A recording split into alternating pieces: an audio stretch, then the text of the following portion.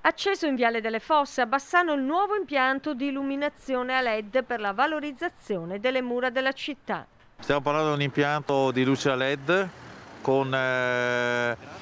impianto di luce a LED che consuma anche molto poco, eh, circa 440 watt quando è tutto acceso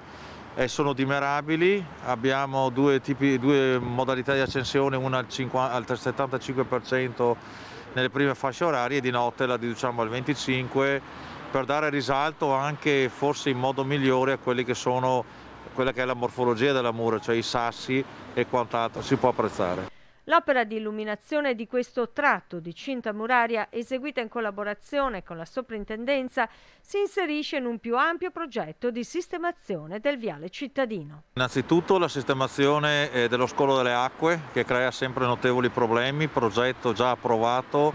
e che, di cui partiranno i lavori a giugno. Poi invece è previsto ed è in progettazione esecutiva in questo momento, già approvato dalla sovrintendenza, lo stralcio di sistemazione da viale da via Jacopo da Ponte a Piazzale Trento con una sistemazione come il lato a nord, cioè si cambiano i marciapiedi in pietra, si cambiano i profili e si fanno la parte di illuminazione delle mura appunto che arrivano fino a Piazzale Trento.